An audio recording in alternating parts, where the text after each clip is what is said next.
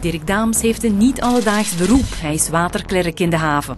De waterklerken dat zijn eigenlijk de contactpersonen tussen het schip en de wal. Wij regelen alles uh, qua proviant, uh, sleepboten bestellen, loodsen bestellen. Uh, alles voor de bemanning regelen, etiketten, mensen naar een dokter. dat is het eigenlijk hetgene dat wij doen. Dirk is waterklerk in hart en nieren. Hij is ook voorzitter van de Vereniging van Waterklerken en doet zijn job al 24 jaar. Er komt wel wat kennis bij kijken dat je met de jaren moet ervaren, want dat kun je op geen enkele school leren. Het beroep dat wij doen, dat moet je echt on the field leren. Ik heb het geleerd van iemand die 40 jaar waterklerk was. Dat er nog maar één sluis was. Dus, uh, hij heette Rosse En uh, dat was er één sluis en hij heeft nog boten hier gedaan met de graanzuigers op de Schelde. Reed nog rond met een Solix brommerke. Dus als je het van die oude garde kunt leren, dan leer je het goed van de begin.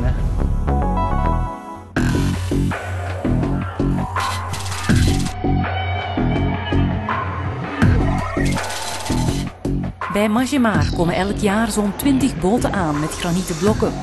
Uit India, Zuid-Afrika of Brazilië. Patrick van Boven leidt alles in goede banen op de terminal. Het schip uh, is afkomstig uit Indië en uh, is beladen met granietblokken voor ons. Aan dit schip uh, zijn een 775-tal blokken aan boord voor ons, wat toch een bijna 12.000 ton is.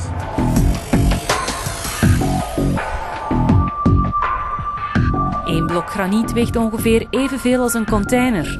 Alleen is zo'n blok veel moeilijker om te verplaatsen. En schitterend. Het aantal van uh, de lossing van deze morgen geeft jij mij nog even toe. Oké, okay, dat is heel vriendelijk.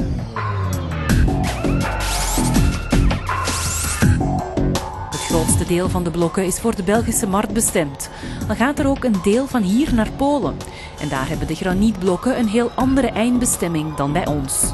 In Polen hebben wij nog wel een beetje meer het gebeuren van dat, uh, dat als het als grafsteen uh, dient. Dat wij in België vaststellen dat dat minder is, maar dat wij dan in de bouwsector weer heel hard uh, vooruit gaan.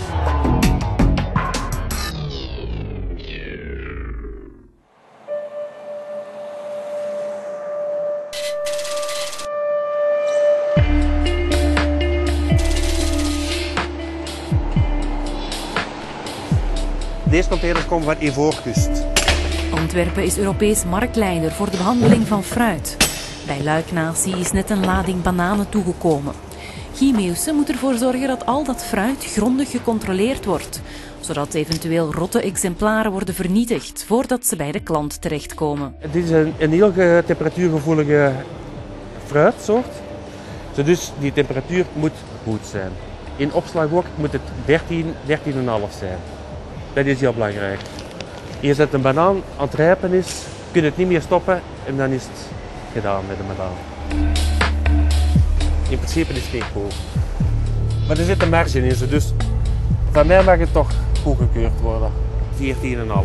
Dat is beter.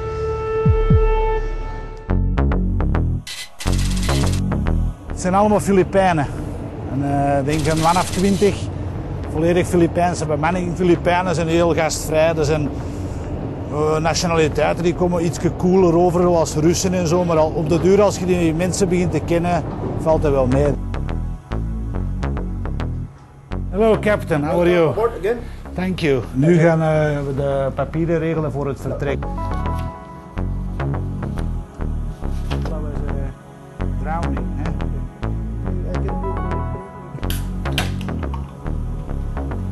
Maar boei, om, om te verbroederen is het, is het goed uh, om in de taal de begroeting te doen. Dan zeg ik tegen de kapitein s morgens magandang umaga, dat, is mijn, dat wil zeggen goedemorgen. En dan uh, Kumustaka, hoe gaat het met u? En uh, zo, zo, kunnen we dat in het Grieks en in andere talen. Dat is om het ijs wat te breken, is dat uh, toch belangrijk soms. So we go to the bridge now. Zo, de, de volledige bemanning is aan het wachten tot uh, het schip klaar is om te vertrekken. Dan, sommige mannen gaan naar de trossen, de anderen gaan naar de engine room. Dus zodra we weten dat het schip kan vertrekken, dan uh, schieten zij in actie. Oshimana, coördinatie, goedemiddag. Ja, goedemiddag, de agent hier. Uh, de Oshimana is klaar om te vertrekken, diepgang 835 max. Is er al een planning voor de sluis, alstublieft? I wish you a very nice trip.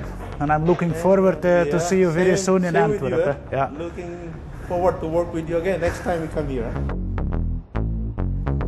We gaan nu naar een klein bootje hier, eh, die ligt op Europort, hier aan de overkant van de dok. En, eh, er is een kapitein die heeft eh, een telefoonkaart nodig voor naar huis te bellen. eh in België is het, dan is het wat goedkoper. Dirk moet dus werkelijk alles regelen en krijgt soms ook vreemde verzoeken. Iedereen maakt wel eens iets mee, maar ik heb er zelfs een die had een eh, modepop in zijn, eh, in zijn cabine staan en eh, die deed hij elke dag andere kleren aan. En eh, die modepop, er een arm was eraf gevallen en dan heb ik eh, een, een tube eh, sterke kool moeten gaan kopen om, die arm terug te lijmen. Allee, dat is iets bizar, dat blijft uw hele leven bij. Dit zijn luchtcirculatiegaten. Moeten de mensen elk karton nakijken en voelen of dat de banaan rijp is, ja of nee. De banaan is rijp als je op de banaan duwt. Als je ze kunt induwen, als ze wat plat, dan zijn ze rijp. Die karton moet er tussenuit gehaald worden. Dit is een palet met slechte kartons. Als dat palet vol is, wordt je opzij gezet in afwachting van vernietiging. Die mag zeker niet bij die ander in het magazijn in de cel gezet worden. De bananen hier die ontrijpen zijn, die steken andere bananen aan.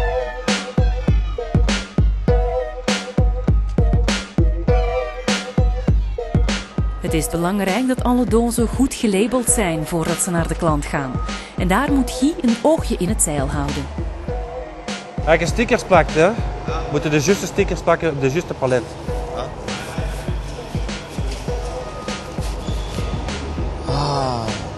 Dus dat is ook mijn job. De mannen die keuren, moet ik ook nog eens keuren. Een dubbele controle maken, dat is de bedoeling.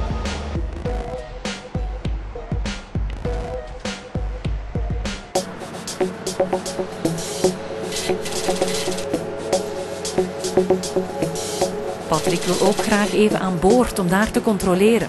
Maar daarvoor heeft hij de toestemming van de kapitein nodig. Tijdens het wachten beantwoordt hij snel nog wat telefoontjes van klanten. We warten uh, heute Mittag sind wir wieder angefangen mit einer neuen Mannschaft. Dus uh, normalerweise läuft alles uh, zoals het moet.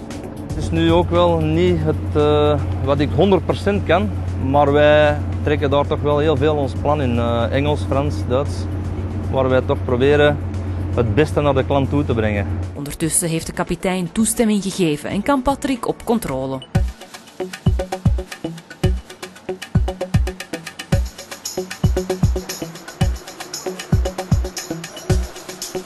In dit geval zal het moeilijk worden doordat die blok eigenlijk een klein beetje tegen elkaar zit. Dus we gaan toch proberen de ketting ertussen te krijgen. De kraanman die uh, houdt telkens die man in doog die zijn vuist omhoog steekt. Dan weet de kraanman, oei, even niks doen. Kijken, voilà. Hij zal uh, verdere instructies geven. Dus de kraanman krijgt nu de instructies om uh, de blok te hijsen. En dat moet natuurlijk wel heel goed met elkaar afgestemd zijn. Qua veiligheid voor personeel natuurlijk. De blokken zijn proper geladen. Uh, ik zie wel, de grote en klein liggen wel wat door elkaar, maar dat is natuurlijk om het schip in balans te, te leggen, dat zij dat doen. En uh, om alle blokken stevig te leggen. Vooraleer zij in Antwerpen zijn, in de zomer minder, maar het gebeurt wel eens dat zij een storm hebben. En dan kan de lading zich wel eens een klein beetje verplaatsen. Maar in dit geval ziet alles er perfect uit.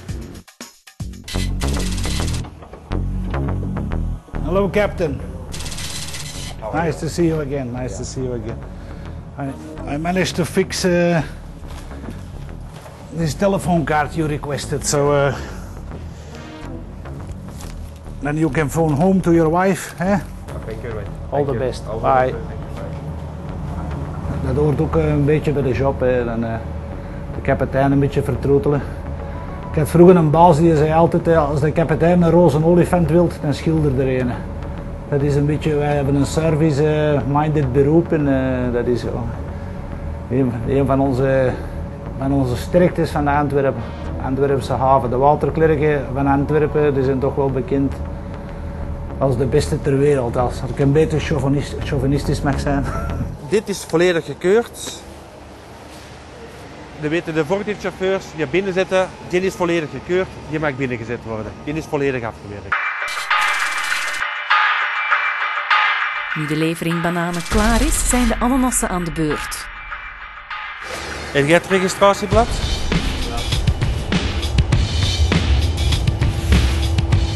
Nu ga ik nog temperatuur pakken.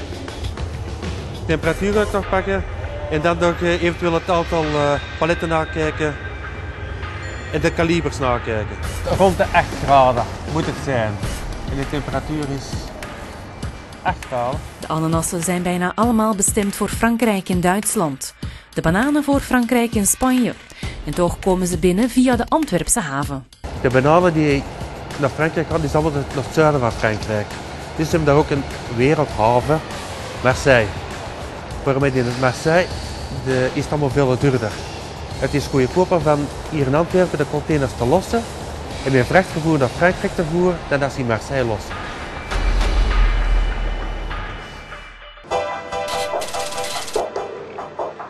Patrick staat ondertussen weer op de kade op zoek naar een van zijn klanten. De klanten zelf komen naar hier om hun blokken nog eens te controleren die zij hebben gekocht in Indië dan natuurlijk. Zij komen die opmeten of de werkelijke maat erin zit die zij besteld hebben. Hi Michael. Hi, dich Patrick. Hi, hallo. Na, Hoe geht's? na, gut, danke. Alles goed? Ja.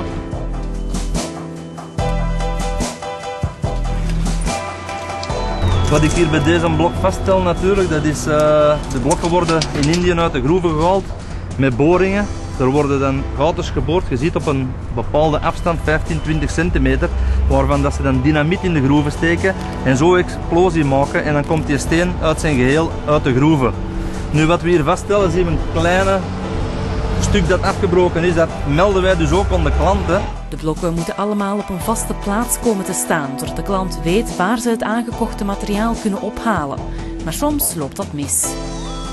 Wat ik hier vaststel, dat is dat deze blok eigenlijk uh, van een andere klant is en die moet op een andere locatie komen. Ja, Mark, een goede middag. Mark, een vraagje, kun jij eens even naar de 638 komen? Ik heb daar een blok 510 liggen in de baan van Imbra. Maar die moet, die moet uh, bij Eastern komen op de 640 37.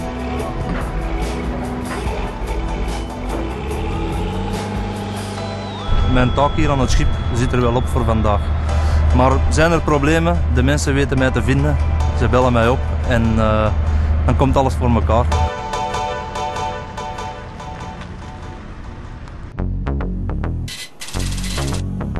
Is net een schip aangekomen op KI 1213. Dirk staat al klaar om te kijken wat de kapitein zoal nodig heeft. This is uh, your arrival crew list. Stand by the immigration. So Okay, we are cleared now if they come on board, so voor de immigratie en dan, uh, dan mag de bemanning terug aan de wal. Anders is de bemanning niet toegelaten dat dat document niet aan boord is, uh, dat ze aan de wal gaan. Bijna alles is geregeld. De douanedocumenten heb ik gekregen, zijn crewlist is aan boord. Ik heb gezegd wanneer dat zijn bemanning eraf gaat, wanneer dat hij morgen gaat shiften, wanneer hij begint te werken. Dus uh, de, hoofd, de noodzakelijke dingen heb ik nu al verteld. En, Uh, the captain knows he can call me day and night uh, in case he have any problem. Please, captain. Yes, thank That's my mo mobile phone number, so Okay. there you know where to reach me. Anything else? Some Uh, sleep. I need to sleep. I wish you a quiet evening, and we'll see each other tomorrow again. Nu zit het erop. Voor vandaag, uh, de volgende boot uh, is om een uur of vier morgen vroeg. Als er geen vertraging is met de sluis, dus uh, dan moeten we terug vroeg op.